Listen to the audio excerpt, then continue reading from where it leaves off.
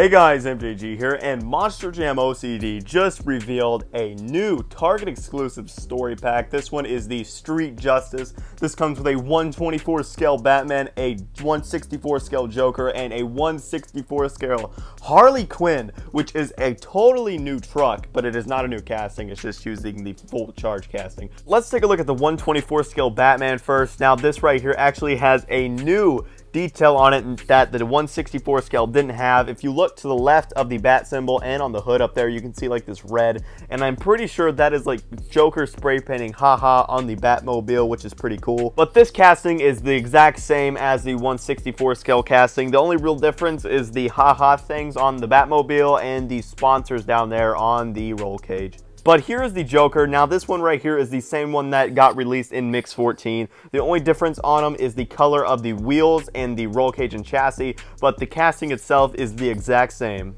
And here's the star of the show. Here is Harley Quinn. Now this truck right here looks great. It says Harley Quinn on the side right there in big bold letters. It's got like a white heart. Looks like it's drawn on with chalk almost.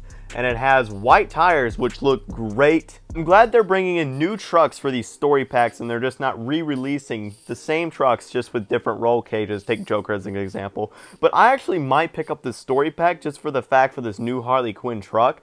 I really like it. I really like how they use the full charge casting. I think it fits the truck great. But leave a comment below and tell me how you guys feel about this new Street Justice story pack. That is a sick name. But I hope you guys enjoyed this video. If you did, definitely consider smashing that subscribe button and like subscribe. Peace out. MJG out.